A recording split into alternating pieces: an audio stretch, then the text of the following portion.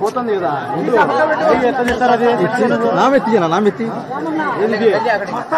Okay వస్తుంది నేను తీస్తాను ఓకే మేడం అందరికీ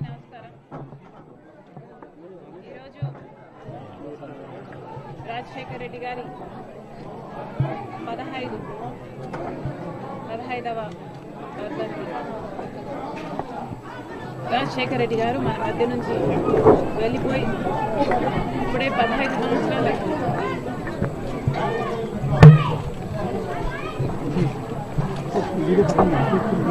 కేవలం ఐదు సంవత్సరాలు ముఖ్యమంత్రిగా ఉండి రాజశేఖర రెడ్డి గారు సంక్షేమం అభివృద్ధి రెండు చేతుల రెండు కళ్ళల పరిపాలన సాగిస్తే రాష్ట్ర ప్రజలంతా ఎంతగానో ప్రేమించారు రాజశేఖర రెడ్డి వాళ్ళ ప్రేమకు పరిమితం లేదు. రాజశేఖర రెడ్డి గారు చనిపోయినప్పుడు బాధ భరించలేక నిజం జీర్ణించుకోలేక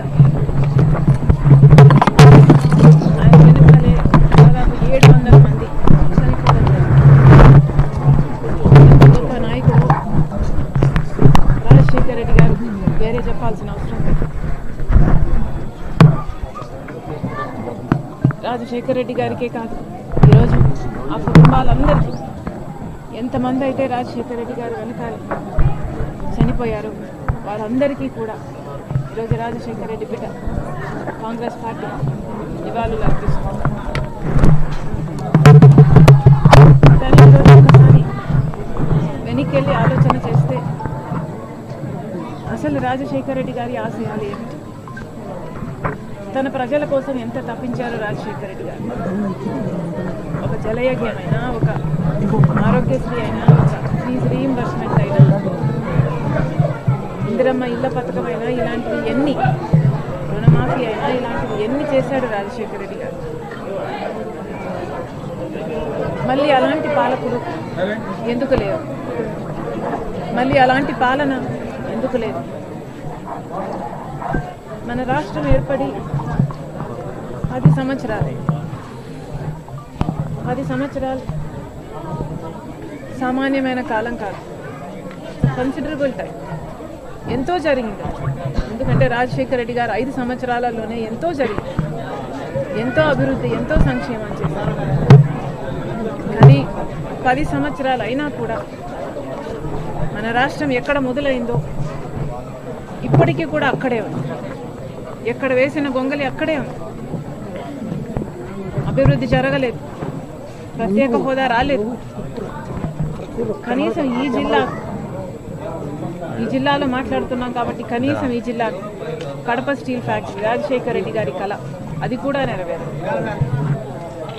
రాజశేఖర రెడ్డి గారి వదిలి వెళ్ళిపోయిన జలయజ్ఞంలో మిగిలిపోయిన ప్రాజెక్టులు. అటు చంద్రబాబు గారు కానీ జగన్మోహన్ రెడ్డి గారు కానీ ఇద్దరు విస్మరించారు ఆరోగ్యశ్రీ అయితే ఫీజు రీఇంబర్స్మెంట్ అయితేనే ఎవరికి ధ్యాస లేదు. అందరూ నీరు గారుస్తున్నారు. Kadapa steel factory. కడప నుంచి ముఖ్యమంత్రి అయ్యి ఉండి కూడా జగన్మోహన్ రెడ్డి గారు కడప స్టీల్ ఫ్యాక్టరీని ఐదు సంవత్సరాలలో సాకారం చేయలేకపోయారు. ఏ బీజేపీ పార్టీని అయితే రాజశేఖర రెడ్డి గారు వ్యతిరేకించారు అదే బీజేపీ పార్టీ. గులాంగిరి చేస్తారు మరి ఇదే నా రాజశేఖర రెడ్డి గారి ఆశయాలను నిలబెట్టడం. ఒకసారి అధికారం ఇచ్చిన ప్రజలు ఏమి కోరుకుంటున్నారు? రాజశేఖర రెడ్డి గారి ఆశయాలు ఏమిటి? మహానాయకుల ఆశయాలు ఏమిటి? అని పాలకులు ఆలోచించాల్సి ఆలోచించాలి. మేలు చేయడానికి ప్రయత్నించాలి. మా వరకైతే కాంగ్రెస్ పార్టీ తరఫున మాటిస్తున్నాం రాజశేఖర్ రెడ్డి గారి ఆశయాలకు కాంగ్రెస్ పార్టీ కట్టుబడి రాజశేఖర్ రెడ్డి గారి ప్రతి కళను నెరవేర్చే దిశగానే రాజశేఖర్ రెడ్డి గారి బిడ్డ అయినా కాంగ్రెస్ పార్టీ అయినా పనిచేస్తుందని రాజశేఖర్ రెడ్డి గారి అభిమానులందరికీ మరొకసారి మాటిస్తున్నాం. చాలా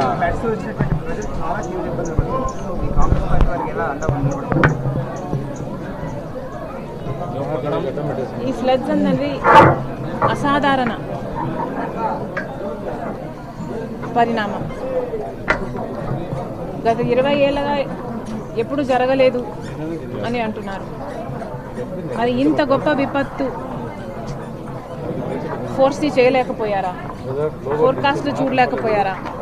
వార్నింగ్లు ఇయ్యలేకపోయారా? ఇంత విపత్తు జరిగింది మొత్తం అంతా. కాపాడటం సాధ్యం కాకపోయినా ఏ మరకు వీలైనా ఆ మేరకైనా ఏమైనా ముందే చేస్తుండొచ్చునా? చంద్రబాబు గారు సమాధానం చెప్పాలి. ఇంత గొప్ప విప గొప్ప విపత్తు వస్తుందని ప్రజలెవరూ ఊహించలేదు కాబట్టి వాళ్ళకు అండగా నిలబడాల్సిన అవసరం ఉంది కేంద్ర ప్రభుత్వానికి కూడా. నేషనల్ డిజాస్టర్ రిలీఫ్ కింద ఏది అవసరమైతే బలగాలైతే ఏమీ లేకపోతే రిసోర్సెస్ అయితేనేమి ఆదుకోవాల్సిన అవసరం ఉంది కాంగ్రెస్ పార్టీ తరఫున ప్రతి కాంగ్రెస్ కార్యకర్త ప్రతి కాంగ్రెస్ నాయకుడు ప్రజలకు అండగా నిలబడతామని మాటిస్తున్నాం. మేము ఏ మేరకు సాయం చేయగలిగినా ఆ మేరకు చేస్తాం. అందరూ విల్లింగ్గా ముందుకు రావాలి. ఆదుకోవాలని మరొకసారి ఈ సందర్భంగా thank you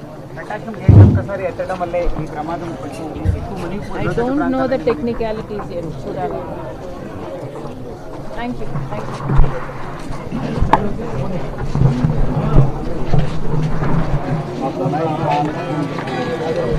you